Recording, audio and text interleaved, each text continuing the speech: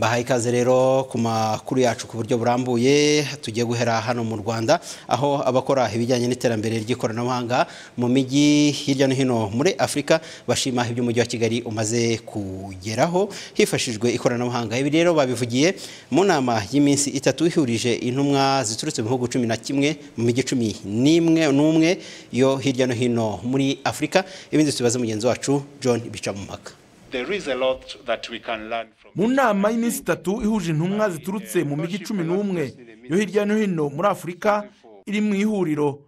Aston african smart towns network rigamije kwifashisha ikoranabuhanga mu gukemura ibibazo byugarije abaturage bo mu mijyi umuyobozi w'umujyi wa kigali pidansi rubingisa yagaragaje uburyo ikoranabuhanga rifasha mu iterambere ry'abaturage no koroshya imikorere. Natanga urugero nka serivisi zo mu irangamimerere aho ushobora kwicara mu rugo ugasaba eh, atesitasiyo y'amavuko cyangwa se eh, y'uko washatse ukaba wayibona cyangwa ukaba waniyandikisha eh, ukabona ibyangombwa nk'umuturage. Hari serivisi zo mu butaka aho ushobora kujya gukoresha ikoranabuhanga ukareba ubutaka bwawe ese buteganyirizwa gukoreshwaho iki? Mu gishushanyo mbonera cy'umujyi ese niba nshaka kubaka ndareba ikihateganyijwe nsaba uruhushya rwo kubaka cyangwa se rwo gusana. Turabona ko ibintu byinshi cyane dushobora gukora kugira ngo twihutishe iterambere tworohereze serivisi abazibona ariko nanone tubyaze umusaruro eh, ibyo dufite igihugu cyacu cyaduhaye. Umuyobozi w'umujyi wa kigali avuga ko kuri ubu hifashishwa ikoranabuhanga abaturage bagahabwa serivisi zigera ku ijana intego umujyi ufite akaba ari uko zakomeza kwiyongera. Abitabiriye inama basanga umujyi wa kigali warateye intambwe yabera icyitegererezo indi mijyi muri afurika kuko na yo ifite inyota yo kwifashisha ikoranabuhanga C'est ma première fois à Kigali et on, a- on vient d'avoir une présentation. ni ubwa mbere ngeze i kigali ariko ibyo tweretswe twabonye ko uyu mujyi wateye imbere ku buryo buhambaye serivisi ihabwa abaturage iraduha ingero nziza kigali yabaye urufatiro nkatwe dushaka guteza imbere imijyi y'afurika C'est un, c'est un- c'est un grand exemple qu'on doit tous suivre. Chaque ville développe une thématique. Si vous prenez Bamako par exemple, buri mujyi ugira ibyo uteza imbere nkatwe i bamako twashyize imbere uburyo bwo gukusanya amafaranga ava mu misoro ndetse n'ibindi kuba twasuye kigali rero turahakura ubundi bumenyi uyu mujyi wateje imbere aha muri kigali twasanze harashyizweho igishushanyo mbonera gifasha abaturage bakabona amakuru ku byo bashingiraho biteza imbere iki ni ikintu twigiye hano forme. Donc c'est vraiment quelque chose de très positif que nous retenons.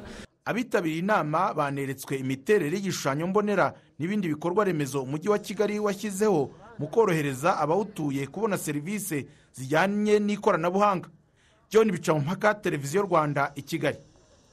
Urakoze cyane john bica mu mpaka naho u rwanda rwaje mu bihugu bitanu bya mbere mu kurengera ibidukikije ndetse n'imihindagurikire y'ikirere. Ariko se ibi byagezweho bite? Ni inkuru itugezeho mu kanya. Ariko muri aka kanya turi kumwe na munyazikwiye faustin ni umuyobozi wungirije wa rema. Mwiriwe neza ah, aho muherereye aho ngaho muri ekose mwiriwe mwiriwe. Twashaka kubabaza ah, turabona iyi raporo iri kugaragaza ko u rwanda ruri mu bihugu bitanu bya mbere byitwaye neza mu kurengera ibidukikije ndetse no guhangana n'imihindagurikire y'ibihe. Ah, ibanga ryabaye irihe? Ah, murakoze cyane. Ah, ni byo koko u- rwanda ruri mu bihugu byitwaye neza. Ah, ariko oh, ibanga nk'uko wari ubivuze eh, icya mbere ni uko ah, hashyizweho politike n'amategeko ahamye yo kurengera ibidukikije no guhangana n'indwara z'imihindagurikire y'ibihe. Icya kabiri ni uko u rwanda rwafashe iya mbere mu gushyiraho uburyo bunoze bw'ishoramari mu guhangana n'ingaruka z'imihindagurikire y'ibihe.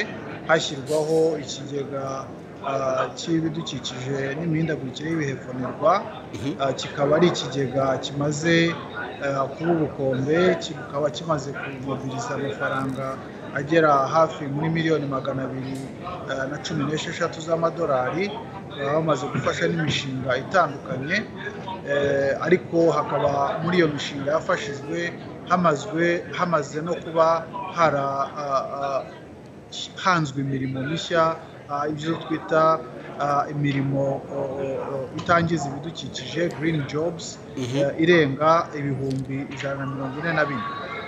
Ibyo ni muri bimwe mu by'ingenzi u rwanda rwakoze rwabashe gukora. Ariko mu byo mwaganireho mu byagaragajwe uyu munsi harimo mu byo mwanaganiyeho cyane gushora imari mu kurengera ibidukikije. Abenshi ntibari banasobanukirwa no kurengera ibidukikije. Ibyo ari byo none gushora imari byo muri buze kubona bishoboka cyane cyane hano mu rwanda. Murakoze cyane. Gushora imari mu bidukikije ubu ngubu niyo ni cyo kiganiro kirimo kuba ahangaha cyane cyane ko hano mu nama mpuzamahanga y'amasezerano ku mihindagurikire y'ibihe uyu munsi wo ku itariki eshatu wahariwe ishoramari mu mihindagurikire y'ibihe ibyo twita climate finance. Buri munsi rero ugenda ugira teme yawo. Uyu munsi rero ni byo byaganiriweho ariko icyagaragaye ni uko birashoboka ariko birasaba kugira ngo tugerageze tugire uburyo butandukanye bwo gushora imari mu bidukikije no mu mihindagurikire y'ibihe. Mu bihe byashize abantu batekerezaga gusa ko amafaranga aza mu bidukikije yagombye kuba ari amafaranga ayo twita garanti cyangwa se amafaranga aza ameze nk'impano atishyurwa. Ariko ubu ngubu bimaze kugaragara ko aho isi turimo kugana tugomba kugerageza no gushyiraho n'ubundi buryo abantu bashobora kuba bagera ku mafaranga yo gushora mu bidukikije harimo ibirebana n'ishoramari ibirebana n'inguzanyo ibirebana green bond n'ibindi n'ibindi. Bwana faustin mukiri aho ngaho mu by'ukuri minisitiri yagaragaje iki uyu munsi? Yagaragaje iki? Ku cyo u rwanda rugiye gukora no kuri gushora imari? Amafaranga muzayakura hehe? Mwiteguye gute? Minisitiri yabigaragaje ati murakoze cyane amafaranga mu by'ukuri nk'uko twabivuze ubushize mu masezerano mpuzamahanga y'i Paris ibihugu bikize byiyemeje ko bigiye gutanga miliyari ijana z'amadolari buri mwaka agomba kuba agenewe ibihugu biri mu nzira y'amajyambere harimo n'u rwanda.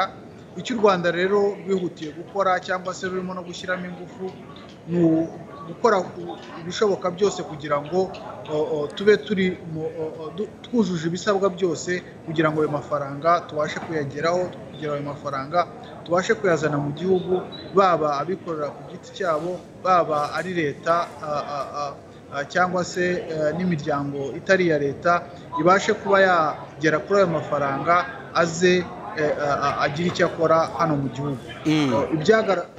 Iby'ingenzi rero ni ibyo ngibyo byo kugira ngo tube twashyiraho uburyo bwo kuyakisesinga. Hariho gushyiraho icyo kigega green fund. Hariho ariko nanone no gukorana n'abandi nka za BRD basanzwe bafite ubunararibonye mu kuba bakorana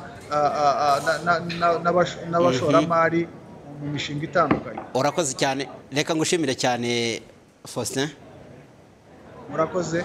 Arakoze cyane. Tumushimire cyane munyazikwiye faustin. Ni umuyobozi wungirije wa rema. Barimo tuganira. Aho uri mu nama iri kubera mu rekose ivuga ku bigendanye n'imihindagurikire y'ibihe. Naho u rwanda.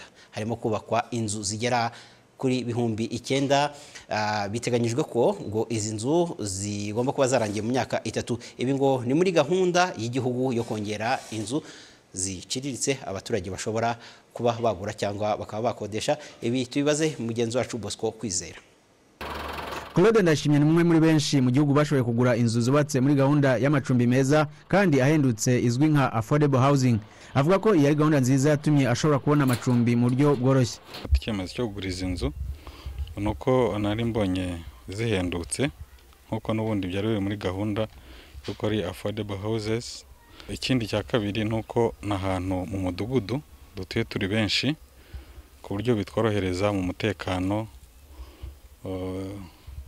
turi abantu basa n'abari muri gahunda zimwe iyo dupanze ku- kugira icyo dukora biratworohera kugira ngo gikorwe kuko eh, imyumvire isa n'aho ari imwe. Gusa abataragira amahirwe yo kubona icumbi barifuza ko inyungu ya cumi na rimwe ku ijana yakwa n'ibigo by'imari yagabanywa. Inguzanyo zo mu mabanki kuri affordable housing ziri kuri leta iri hejuru cyane. Eh, ibyo na byo rero bigatuma uramutse ukoresheje amafaranga umuntu yinjiza akaba atabasha kuba yakwishyura iyo nguzanyo ngo anagere no ku kindi kintu bisanzwe mu buzima yakwigezaho aho usanga nshobora gufata inguzanyo ya miliyoni makumyabiri nzishyura mu myaka nka cumi n'itanu ariko ugasanga nshobora kuzishyura hafi ubwikube kabiri. Bwa ya yandi natse eh, akaba ariyo mpamvu abantu basesengurira hamwe bakareba niba by'umwihariko ku bijyanye n'amacumbi aciriritse n'inyungu yajya hasi. Mu gihe u rwanda rufite intego yo kuba igihugu kizaba gifite ubukungu buringaniye apa middle income bitarenze ibihumbi bibiri na mirongo itatu na gatanu ndetse n'ubukungu bwo hejuru apa income bitarenze ibihumbi bibiri na mirongo itanu birasaba ko igihugu cyagira umuvuduko w'abatura mu mijyi uri kuri mirongo itatu na gatanu ku ijana bitarenze ibihumbi bibiri na mirongo itatu na gatanu bivuye kuri cumi n'umunani n'ibice bine ku ijana muri bibiri cumi na karindwi. Umuyobozi w'ikigo cy'igihugu gishinzwe guteza imbere imiturire felix nshimiyumuremyi agaragaza isoko ry'imari n'imigabane nk'igisubizo kirambye ku kibazo cy'inyungu ku nguzanyo iri hejuru. Eh, kuba twashyiraho isoko ry'imari n'imigabane ishobora kuba ari na yo yaturukamo ya mafaranga yubaka ayo macumbi aciriritse ari cyo cyaba igisubizo kir- kirambye kurenza gusa ko abantu ba- bategereza amafaranga aturutse mu mabanki cyane ko n'aya mafaranga aba ahenze numva ko ubwo ni uburyo ni uburyo bumwe bari guhurizaho ibihugu byose biri guhurizaho ko umuntu ufite amafaranga ye eh, ashobora kuza kugura eh, hari uburyo butandukanye kugura imigabane muri uwo mushinga ugiye kubakwa. Ni iryo soko turi kuvuga eh, byajya bicamo kurenza kujya gushakira amafaranga gusa mu mabanki. Umuyobozi w'ihuriro ry'abafatanyabikorwa bashora imari mu birebana n'amacumbi ahendutse muri afurika african union for housing finance andrew chimfoda avuga ko uburyo u rwanda rwashyizeho yo guteza imbere amacumbi ahendutse ari urugero ku bihugu byinshi.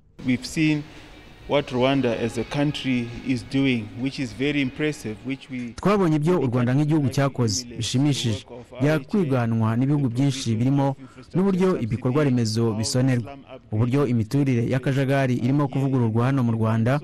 Ndetse ibyo byose bifite agaciro kuko nk'uko mubizi ikibazo cyacu gikomeye ni ukubona amacumbi meza anoze kuri uyu mugabane wose wa afurika uh. Muri gahunda y'igihugu yo kwihutisha iterambere rirambye nsd 1 bibiri cumi na karindwi bibiri makumyabiri na kane mu rwanda hateganijwe kubakwa inzu zihendutse ibihumbi icyenda magana arindwi.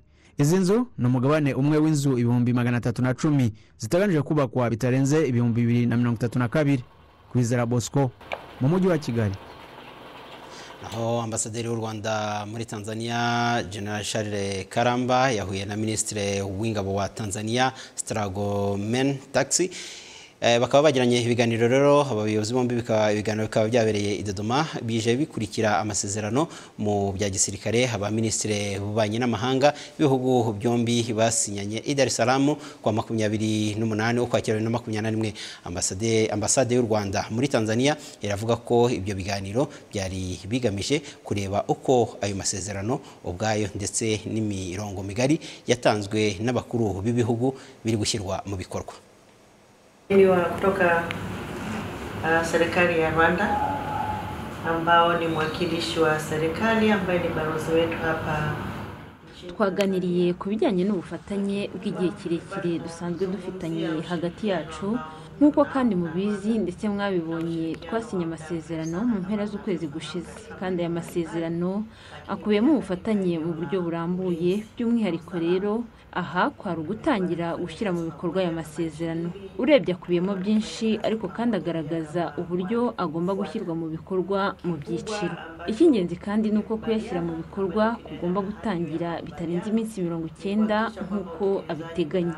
Ubwo rero tugomba kwicara neza tukareba uburyo aya masezerano arambuye twayashyira mu bikorwa nk'uko byemejwe n'abayobozi bakuru b'ibihugu byacu ari nabo bagabo bakuru b'ingabo z'ibihugu byacu namna katika utekelezaji na kutekeleza maagizo ya wakuu wetu ambao ni maamiri jeshi wakuu wa nchi zetu mbili.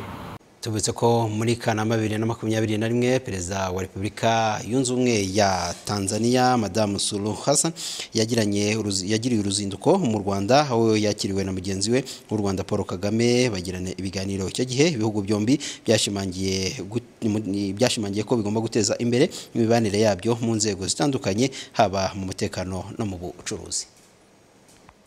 Reka dukomeze amakuru yacu ariko tukiri hano mu rwanda tubabwiye ko polisi y'u rwanda ndetse n'iya repubulika ya santarafurika zatangaje ko zigiye gushimangira ubufatanye cyane cyane mu bijyanye no kubaka ubushobozi. Ibi impande zombi zabitangaje kuri uyu wa gatatu nyuma y'ibiganiro umuyobozi wa gendarmerie ya santarafurika leta general landry dupont yagiranye n'umuyobozi wa polisi y'u rwanda cg dan munyuza. Kwizera john patrick na eugene ndayisaba nibo badukurikiranire badukurikiraniye iyi nkuru. Umuyobozi wa jandarumuri ya santara afurika liyetona generale landry urich depot n'intumwa ayoboye batangiye uruzinduko rw'iminsi itandatu mu rwanda akigera ku cyicaro gikuru cya polisi y'u rwanda giherereye kacyiru mu mujyi wa kigali yakiriwe n'umuyobozi mukuru wa polisi y'u rwanda cg dani munyuza. Yavuze ko uruzinduko rwe mu rwanda ruzatanga umusaruro ufatika ku mikoranire mu nzego zitandukanye ibi akabishingira ku mibanire myiza y'ibihugu byombi. Irimo kandi ifasha abaturage. Le Rwanda, comme je l'ai dit au départ, pour nous représente un modèle. U rwanda nk'uko nabivuze ngitangira kuri twe ni intangarugero kubera ibibazo twagize muri santara afurika kuri ubu dufite ingabo z'abanyarwanda zirimo abapolisi n'abasirikare bakorera ku butaka bwa santara afurika izo ngabo zihari mu butumwa bw'amahoro bw'umuryango w'abibumbye no ku bw'amasezerano hagati y'ibihugu byacu byombi. zirimo kudufasha kugarura amahoro mu gihugu cyacu. iyo akaba ariyo mpamvu twafashe icyemezo cyo kuza mu rwanda kurebera hamwe n'ubuyobozi uburyo nk'ingabo za santara afurika twabasha kwihugura kugira ngo byongerere ubushobozi ingabo zacu za centrafrique de profiter de bénéficier de certaines formations ici au Rwanda pour permettre également de renforcer les capacités de nos troupes en Centrafrique. umuyobozi wa polisi y'u rwanda cg dani munyuza avuga ko ubufatanye bushoboka hagati ya polisi y'u rwanda na jandarumuri ya repubulika ya centrafrica cyane mu bijyanye no guhanahana ubumenyi bw'abakora muri izi nzego zombi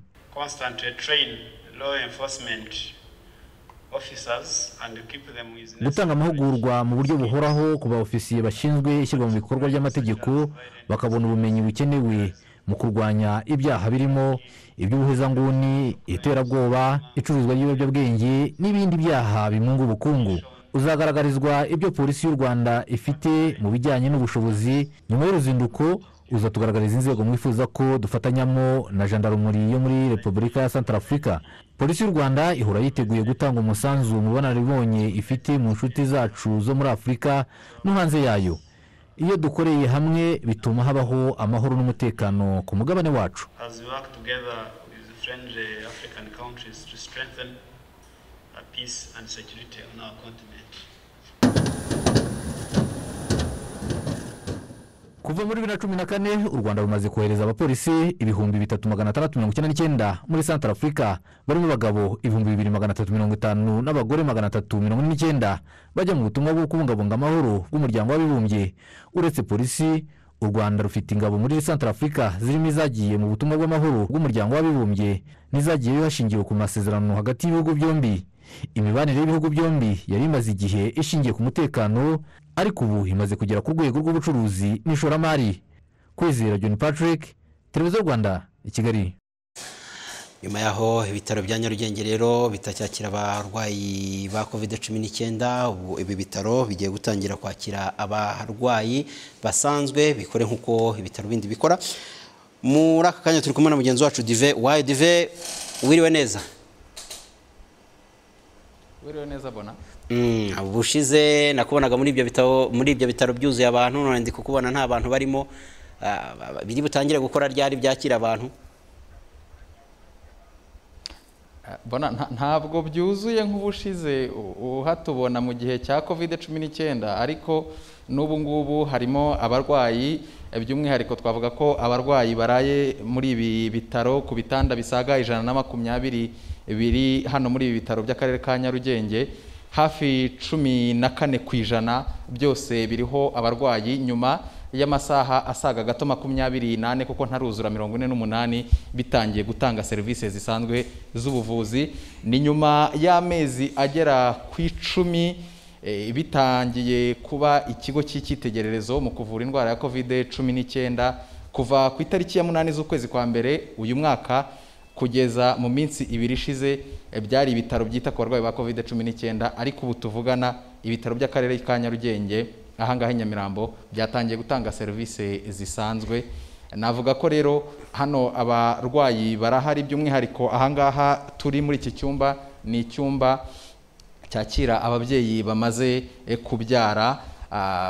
Biragaragara ko nk'uko nari maze kubikubwira nk'uko mu bitaro muri rusange ibitanda biriho abarwayi bigera kuri hafi cumi na kane ku ijana hano hari umurwayi kuri uru ruhande ariko ubona ko ku gitanda gikurikiyeho ah, nta muntu uriho. Ah, ku gitanda gikurikiyeho hariho umuntu ku gikurikiyeho ah, nta uriho ndetse n'ikindi gikurikiyeho. Byumvikana ko ni nyuma y'amasaha makeya bitangiye gutanga serivisi ntabwo mu by'ukuri twavuga ko byari byuzura nk'uko wari ubivuze nk'uko byari bisanzwe ku gihe cya covid cumi n'icyenda. Ni, ariko aba barwayi barimo ni abari kwivuza bisanzwe ntabwo ari aba covid.